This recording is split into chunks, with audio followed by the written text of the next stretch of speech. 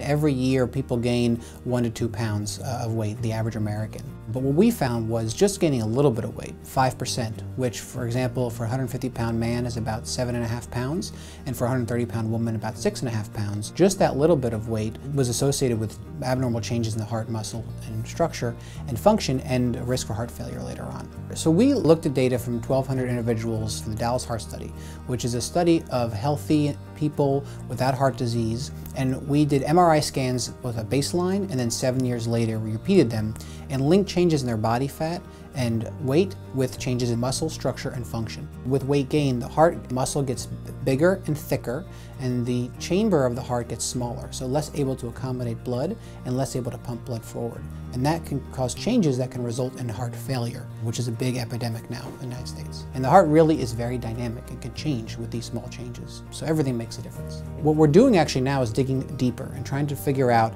if it's overall weight gain that has a bad effect, or is it fat that accumulates in specific areas of the body? So for example, fat that accumulates in the abdomen around the internal organs, that's called visceral fat, that might have a more detrimental effect than fat around the hips and the buttocks, which actually can be protective of cardiovascular diseases, diabetes, and cancer. It's very hard for many people to lose weight.